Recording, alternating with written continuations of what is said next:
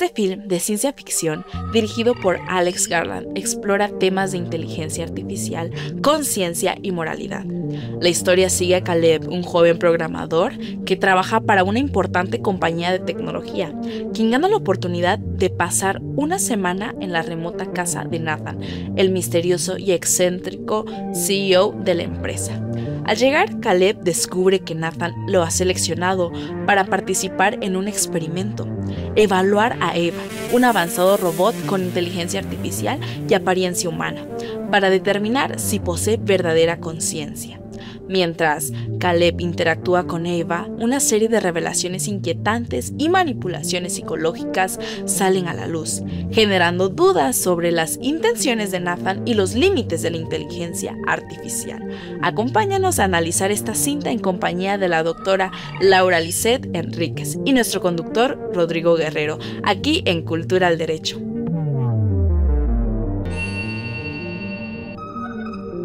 Hoy con inteligencia artificial hemos visto cómo se puede crear música en ocasiones, cómo con inteligencia artificial se puede conversar para obtener algún servicio o con inteligencia artificial se puede incluso también eh, generar hasta obras de, de arte o de lo que se llama hoy arte digital. Estamos hoy con Laura Lisette Enríquez Rodríguez, quien es experta en materia de protección de datos personales y quien además es comisionada y nos va a hablar el día de hoy de una, eh, de una película que en el año 2014, es decir, hace 10 años, parece que eh, se anticipaba lo que iba a ocurrir y que está ocurriendo hoy en pleno año 2024. La película Ex Máquina. Bienvenida, mi querida Laura Lisette Enríquez Rodríguez, a este programa Cultura al Derecho. Es un privilegio contar con tu presencia para que nos platiques un poco de esta película, de la inteligencia artificial, de la legislación, de cuáles son los retos que hay. Muchas gracias por acompañarnos, mi querida Laura. Ay, muchas gracias a ti por invitarme. Me encanta estar en tu programa, me encanta estar el día de hoy platicando de este tema que es además tan importante y que a los dos nos interesa mucho. Sé que compartimos ese interés por este tema que, como bien dices, va está revolucionando ya el mundo y que a mí se me hace que en una de esas podría ya configurar la quinta revolución industrial. Pero eso ya son otras cosas. Justamente hace no mucho, y creo que lamentablemente ya no está en la plataforma en la que en su momento la vi, una plataforma con una letra roja. Estaba yo viendo esta película que se llama eh, Ex Máquina, eh, que es de un director británico que se llama Alejandro Garland, Alex Garland más bien. Y Alex Garland fue escritor, director de esta película. Y como bien dices, es de 2014. Yo pensaba, cuando la vi hace poquito, yo pensaba que era una película muy nueva, ¿no? O sea, eh, como estaba saliendo en esta plataforma, dije, ah, debe tener unos dos, tres años. No, tiene 10 años esta película.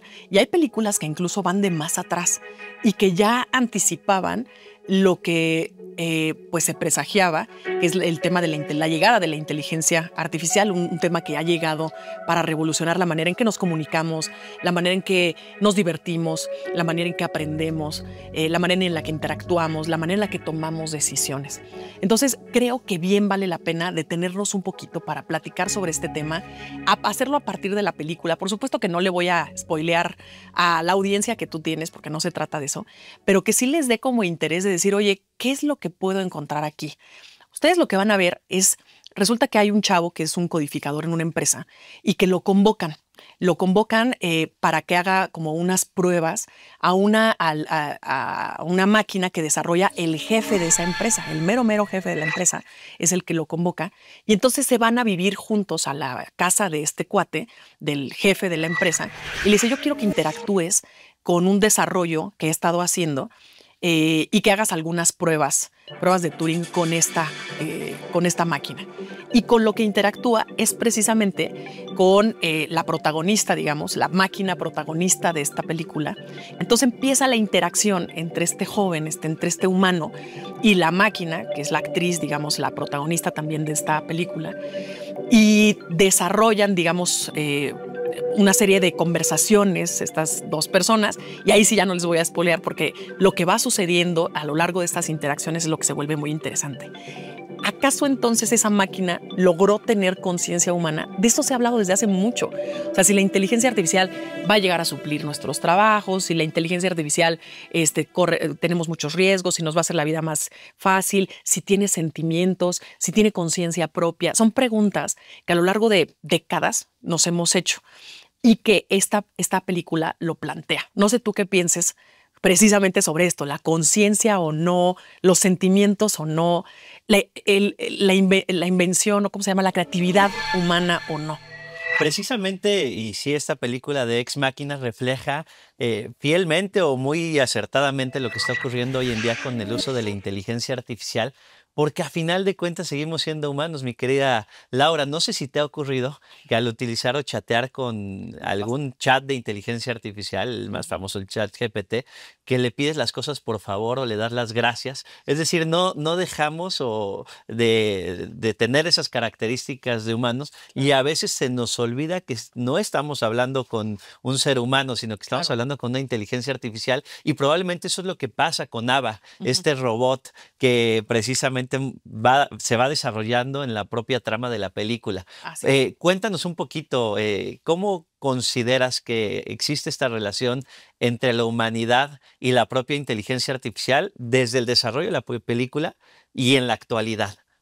Mira, ahí lo ponen, o sea, lo llevan a un extremo, lo llevan al extremo de que la inteligencia artificial tiene un nombre, se llamaba, que la inteligencia artificial tiene un rostro con características humanas, que la inteligencia artificial puede o no eh, vestir las ropas que nosotros vestimos. Porque sí, respondiendo a tu pregunta, yo sí hago eso. Sí he llegado a interactuar con alguna inteligencia artificial para pedirle algo y sí le pido por favor, ¿no? O sea, le, le das características humanas a lo que es verdaderamente una máquina. Pero la inteligencia artificial hoy en nuestros días tiene muchas formas. ¿sí? La podemos encontrar eh, eh, o interactuar con ella a través de un audio, podemos interactuar con la inteligencia artificial a través de una imagen, podemos interactuar a través de texto, podemos interactuar en su momento y por supuesto que lo veremos llegar eh, de manera neuronal, con el pensamiento podríamos interactuar con una inteligencia artificial. No es como es, como ABA, que la vamos a ver en una máquina. El asunto es justamente ahí que no sabemos que estamos interactuando con esa inteligencia artificial que entendemos que estamos eh, eh, interactuando con una tecnología, ¿sí? con, con una TIC, tecnologías información y comunicación, pero no sabemos siempre o no sabemos en todos los casos que estamos hablando con una inteligencia artificial que está procesando masivamente nuestra información para que pueda tomar decisiones, anticiparse y tomar, y tomar alguna decisión sabiendo cómo vamos a responder, lo cual le da también una ventaja a la máquina, ¿no? Muchas veces decimos, y parece broma, pero no, cuando interactuamos con nuestro celular y en las redes sociales interactuamos, por ejemplo, con, con Instagram, muchas veces Instagram conoce más de nosotros que nosotros mismos, o a través de todos los clics que damos en las distintas redes sociales, en nuestras computadoras, en los correos que mandamos que sepan cómo escribimos, es decir, la máquina parece ser de pronto que conoce más eh, eh, nuestros gustos, nuestras formas, ¿sí? Y podría anticiparse. Y entonces creo que una cosa que es fundamental, y ya lo ha establecido las Naciones Unidas, es que tiene que haber un proceso de transparencia y explicabilidad en, la en, en, el desarrollo tecnológico y en la aplicación de la inteligencia artificial. Tenemos mínimamente que saber que estamos interactuando con esa inteligencia artificial, aunque no tenga forma de un robot, como en Ex Máquina, tenemos que, ah, nos tienen que saber, decir, oye, este es un algoritmo que hace esto y esto, y tratar de explicarnos al menos cómo procesan esa información. O incluso entendernos como un producto, ¿no, mi querida Laura? También. Porque efectivamente ninguno de nosotros paga por Instagram, por Facebook, por TikTok o por alguna red social. Y esto de no pagar por estos servicios, pues pareciera medio sospechoso. Y e incluso se dice, cuando en realidad no estás pagando por acceder a estas redes sociales, probablemente el producto estamos siendo nosotros. Y esto se refleja en esta película también de Ex Máquina eh, y el desarrollo que se va llevando a través de este robot de, de, de ABA. Y entonces es ahí donde yo preguntaría cuáles son los límites éticos de la inteligencia artificial o la dejamos libre? O sea, ¿dejamos que la inteligencia artificial se desarrolle de manera libre o le ponemos un límite a la inteligencia artificial? Y si le ponemos un límite, ¿cuál sería ese límite para la inteligencia artificial? Muy probablemente el límite tendría que venir desde el desarrollo. Y siempre lo hemos platicado en charlas informales que hemos llegado a tener tú y yo, eh, es que es importante que cuando tú desarrollas programas, diseñas la tecnología, ya tengas considerado, por un lado, eh, por ejemplo, la protección de datos personales, que desde el origen ya venga bien blindado ese sistema, ese producto, ese proyecto y que proteja los datos de las personas. Cuéntale muy brevemente al público qué es esto de los datos personales. Yo creo que es importante señalar. Hay que aprovechar. Vamos a aprovechar para hablarle justamente a tu audiencia eh, eh, con respecto al tema de datos personales. Los datos personales es toda esa información que nos identifica o que nos hace identificables. Pero, ¿qué hace a una persona identificable?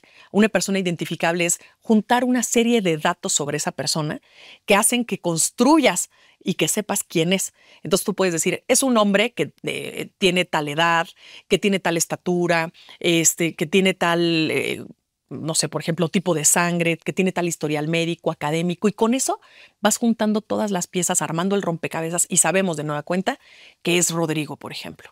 Entonces, ese, ese tema es lo que significan los datos personales. Y hay de muchos tipos.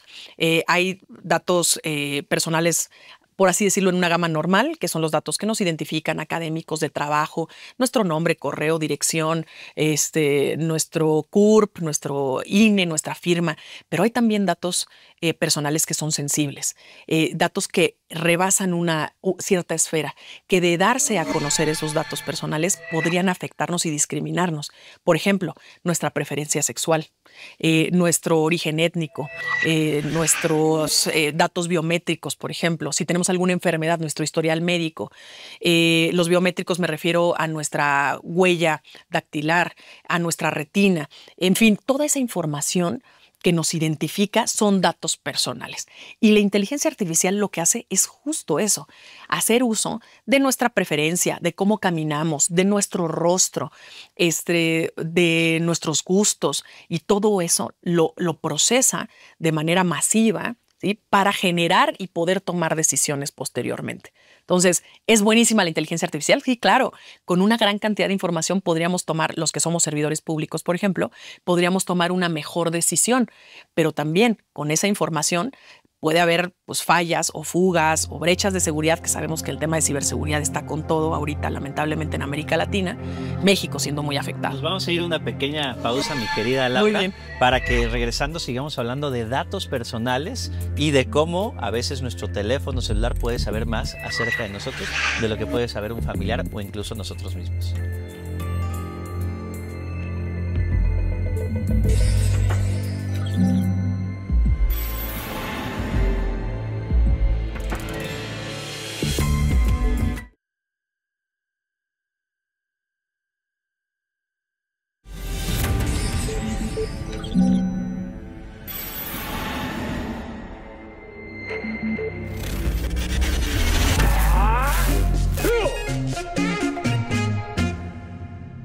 La protección de derechos en el entorno digital es un tema clave en las legislaciones modernas, enfocadas principalmente a la protección de datos personales y a la democratización y accesibilidad a la información.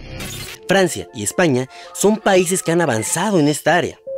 La ley de República Digital en Francia se destaca por el fomento de la transparencia y confianza en las plataformas.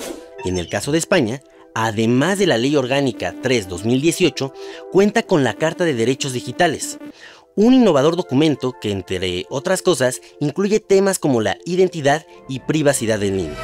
En el nivel europeo, también se trabaja en el Reglamento de Inteligencia Artificial, para regular el uso ético y seguro de las IA, con el fin de prevenir abusos y riesgos. Y finalmente, Corea del Sur ha adoptado medidas progresistas con leyes de privacidad y ciberseguridad, buscando equilibrar el crecimiento tecnológico con la protección de los ciudadanos en el espacio digital.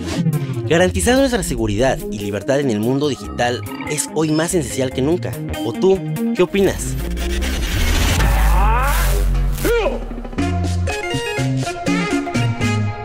Hoy en día, nuestro teléfono celular puede saber cuántos pasos damos diario.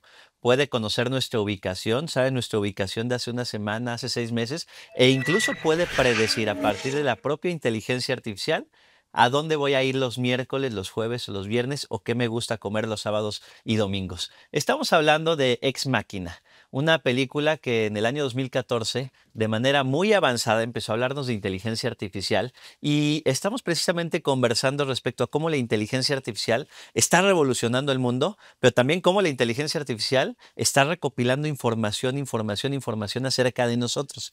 Y ahí es donde surge esta gran pregunta. Eh, legislativamente, ¿dónde se encuentra el terreno de la inteligencia artificial? Pues justamente es un tema que está volando. Y, bien vale la pena traer a colación esta, esta película, porque precisamente el 24 de octubre pasado eh, se presentó una iniciativa por parte, eh, bueno, ya en el Congreso de la Ciudad de México, por parte del Info de la Ciudad de México, congresistas eh, de esta gran capital y por supuesto las y los comisionados que integramos el Pleno del Info, acompañando este ejercicio tan importante, porque justamente como el tema de inteligencia artificial está volando, no está regulado, es importante hacerlo porque la inteligencia artificial ya está aplicándose desde hace muchos años. El asunto es que no, los, no sabíamos los alcances, hoy ha tenido una exposición, un boom mucho más importante que antes. Entonces nos hemos dado cuenta que la información, nuestra información personal, que a final de cuentas cuando hablamos de datos personales estamos hablando de gente, estamos hablando de personas, ¿sí? Entonces, está siendo procesada de manera masiva esa información sin ninguna regulación, sin ningún límite. Y algo que decíamos eh, justamente antes de pasar al corte era eh, que cuáles son los límites. Y uno de los límites justamente tiene que ser la ética. La ética, el, el, diseño con integridad y con ética de este tipo de productos y el tratamiento de esa información con ética y con integridad es muy importante para que no se distorsione la información, para que se le dé un tratamiento adecuado, para que se proteja adecuadamente esa información. Eh, y bueno, en este marco y sabiendo que potencialmente hay mucha información de las y los capitalinos y demás personas que puede ser tratada en los entes públicos, lo que le llamamos los sujetos obligados de la capital de la ciudad, pues es que necesitábamos impulsar un marco regulatorio que protegiera los datos de las personas cuando fueran tratados por inteligencia artificial en manos de los entes públicos de la capital. Así que se presentó, como te decía, el 24 de octubre pasado esta iniciativa que me parece que es revolucionaria, que, que es, sienta un precedente distinto, que ojalá sea ampliamente discutida en el Congreso Capitalino y que sea referente también, ¿por qué no? Un referente de exportación para el resto del país, para otras eh, latitudes en el mundo, eh, sobre la importancia de que en, el, en, en la regulación o en un marco normativo que hable sobre inteligencia artificial se ponga en el centro de la discusión a las personas y por ende a los datos personales. Y principalmente porque como región latinoamericana nos encontramos muy rezagados. En Europa, incluso en Asia, ya se empieza a hablar de legislaciones en materia de derechos en el entorno digital y parece que Latinoamérica se está rezagando. Yo siempre cito Francia, por ejemplo, con la ley de la República Digital Francesa, España con la ley 3 diagonal 2018, la propia Carta de Derechos Digitales española y la ley de inteligencia artificial del 1 de agosto de este año del 2024, que ya eh, empieza a sentar las bases de la, de la regulación de la inteligencia artificial y pareciera que en la región latinoamericana nos quedamos muy, muy rezagados. Por eso esa iniciativa de la que nos platicas el día de hoy y que en su momento fue impulsada por nuestro amigo del comisionado Julio César Bonilla, empieza a sentar un precedente o puede ser un referente no solamente nacional, sino internacional desde el ámbito local. Ex máquina. Regresemos un poco a ex máquina y, ¿Cuál es el contexto en el que se desarrolla Ex Máquina? ¿Cómo lo vincularías con la actualidad? Y si tuvieras tú que establecer una legislación a partir de lo que se vive en la película de Ex Máquina, ¿cuáles serían esos elementos que, incluirías? Ya nos adelantaste un poco la ética, por señalar un ejemplo, la transparencia, no sé, platícanos un poquito, mi querida Laura. Justamente, bueno, e, en esta película llega un momento en que ya no hay, eh, se empieza a distorsionar, digamos, la relación entre la máquina, entre Ava y el otro protagonista, ¿no? El, joven que empieza a interactuar con ella y se distorsiona la relación en tanto se empieza a mezclar una suerte de lo que parecerían sentimientos o está engañando pareciendo que hay sentimientos al respecto, ¿no? Y entonces eh, esa relación se vuelve muy frenética.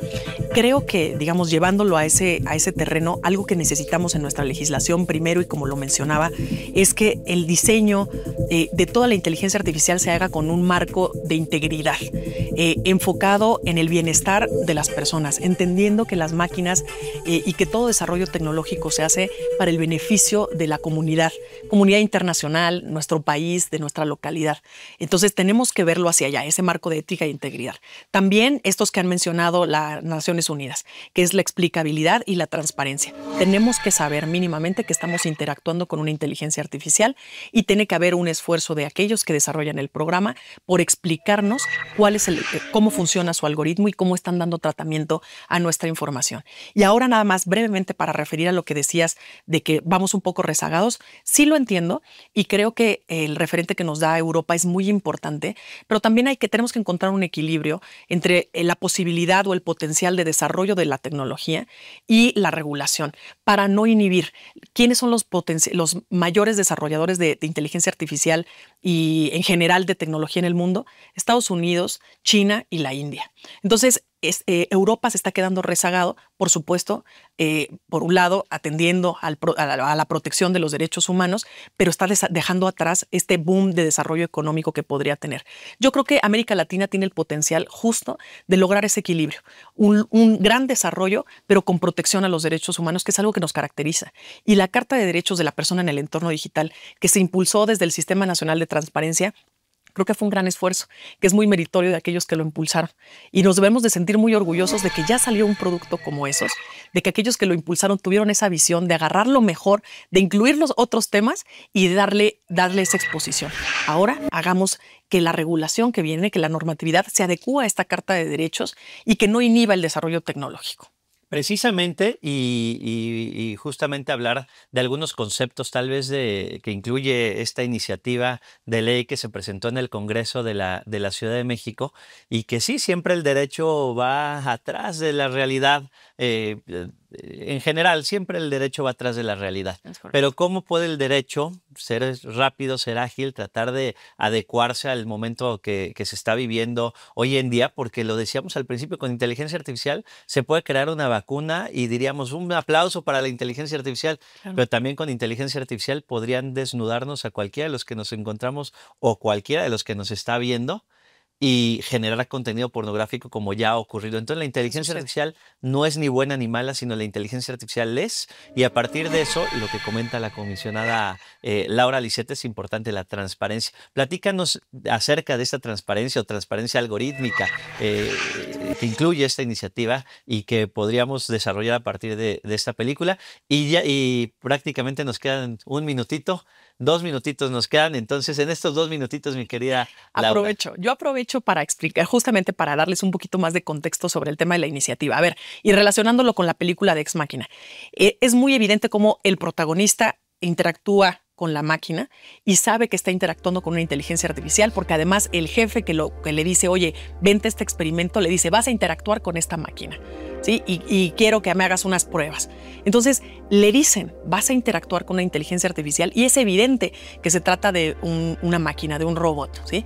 Pero como te decía, en la vida real no es evidente que estamos en interacción con inteligencia artificial. La transparencia significa que los entes públicos, en su caso, los sujetos obligados, en lo referente a esta iniciativa en particular, por supuesto, eh, tienen que avisarnos que estamos interactuando con una inteligencia artificial que procesa, por ejemplo, ya, lo ha, ya ha habido ese tipo de, interacciones. Por ejemplo, eh, nuestro el Instituto Nacional Electoral hoy por hoy ya utiliza e inteligencia artificial para traducir sábanas o para traducir, digamos, este, eh, aquellos, eh, aquellas sábanas en donde viene la información electoral en el momento de la elección, para capturarlas y con una imagen traducirla directamente a texto. Si hay alguien que está haciendo levantamiento de, encuestas en el ámbito público, puede meter esas voces grabadas a una inteligencia artificial para procesarlo y, eventualmente traducirlo a bases de datos. Este, hoy está sucediendo, por ejemplo, con la identificación y, este, y el aval, digamos, de las, de las facturas electrónicas este, a nivel fiscal. Entonces, hoy está sucediendo y lamentablemente no sabemos que estamos interactuando con ello. Se nos acabó el tiempo, lamentablemente, mi querida Laura. El día de hoy hablamos sobre Ex Máquina, una película revolucionaria para el año 2014. Parece que en este año 2024 ya estamos viviendo lo que refleja gran parte de esa película. Hablamos el día de hoy de inteligencia artificial y muy agradecidos contigo, mi querida Laura, por haber platicado de manera muy amena qué es la inteligencia artificial, cómo interactúa con los datos personales y cuáles son los retos. Seguramente en un futuro seguiremos hablando de este y otros temas en Cultura al Derecho. Recuerden que en la cultura de la legalidad participamos todas y todos. Muchísimas gracias a todas y todos por y nos vemos la siguiente semana.